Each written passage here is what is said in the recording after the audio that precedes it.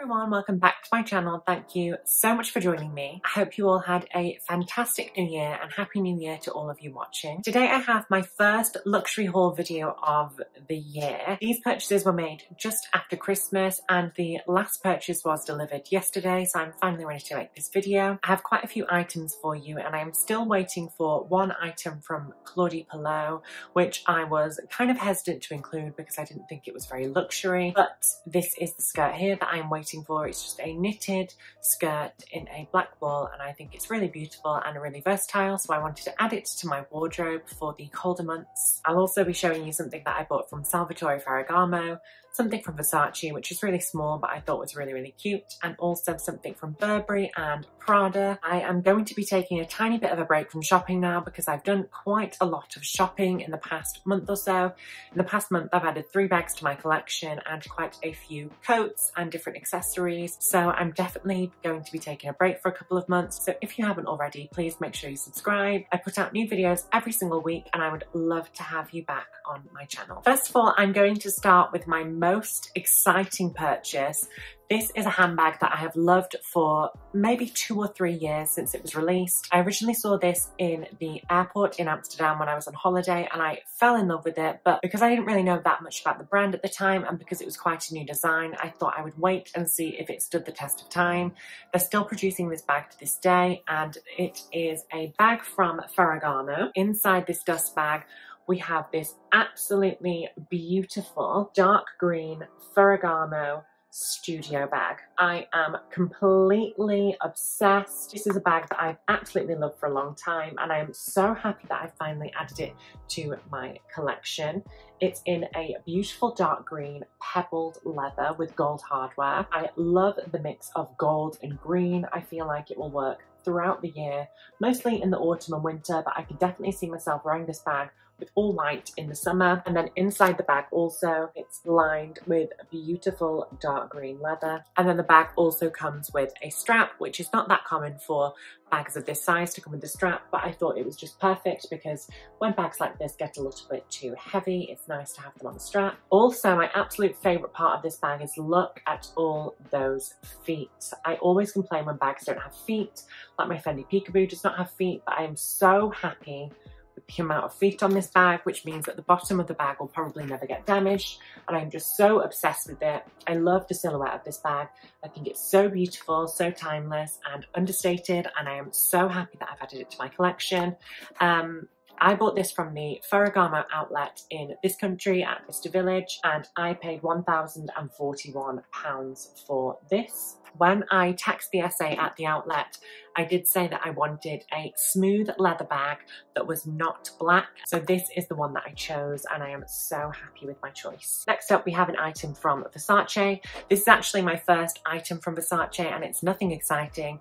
It's a piece of homeware. I've been looking for a jewelry dish for a long time and this is the one that I chose.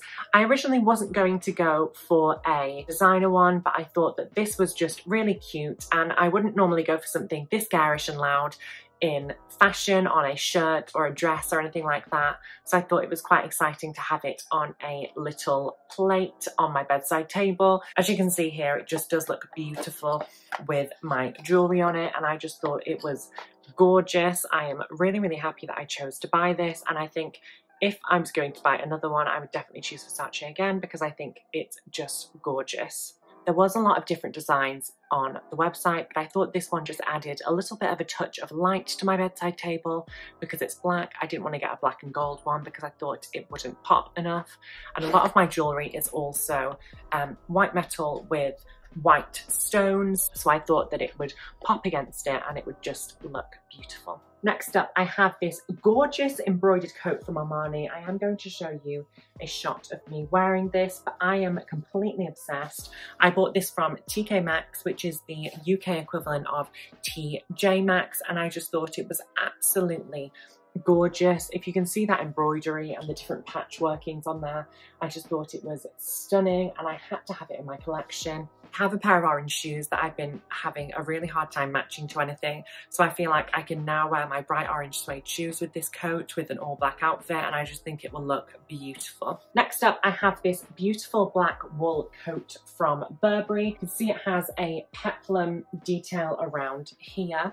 I am going to show you a picture of this coat on because I did wear it in my London vlog. I've been looking for a black felty wool coat for a while and this one from Burberry came up on Vestiaire Collective and I was so happy to add it to my collection because I love Burberry coats. I have a couple of other Burberry coats and I just thought that it was beautiful and understated and then inside you can see that it has a very faint satin grey and black Burberry check, which I thought was a really pretty touch. And then last but not least, I have this beautiful black 100% wool dress from Prada. I absolutely love the detailing that you can see here around the neck. We have these beautiful grommets along the top, and then we also have these little slits. I just thought it was really cute. And then I really, really like the cream piping as well. I'm on a bit of a black dress hunt at the moment. I think I've maybe bought five or six different black dresses in the past month or so and I am just adding them and adding them because I feel like they're such classics and I can wear them with absolutely everything. I was thinking this dress with my new Armani coat would look beautiful and I I'm so excited to wear this dress. Also has these grommets along the bottom and then this really cute velvet bow detail. I will show you a small video of me wearing it just so you can see what it looks like.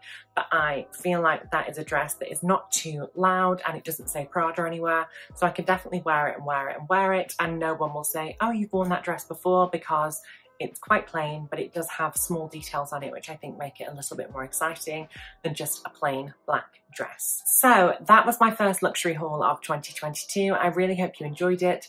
Please let me know what your first purchase of 2022 was down below. I would love to hear about all the beautiful things you've been buying. If you have a channel like myself, which talks about handbags and luxury goods, please comment down below and let me know because I'm always looking for new channels to watch. Like I said before, I hope you all had a lovely new year and I hope you have a great year going forwards. Thank you so much for watching and I will see you next time.